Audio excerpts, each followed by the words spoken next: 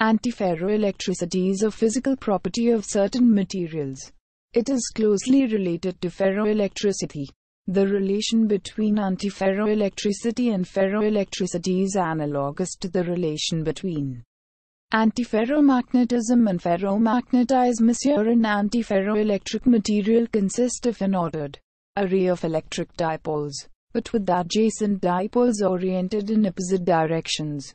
The dipoles of each orientation form interpenetrating sublattices, loosely analogous to a checkerboard pattern.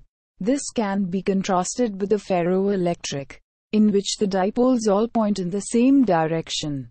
In an antiferroelectric, unlike a ferroelectric, the total macroscopic spontaneous polarization is zero, since the adjacent dipoles cancel each other out. Antiferroelectricity is a property of a material, and it can appear or disappear depending on temperature, pressure, external electric field, growth method, and other parameters. In particular, at a high enough temperature, antiferroelectricity disappears. This temperature is known as the Néel point or Curie point.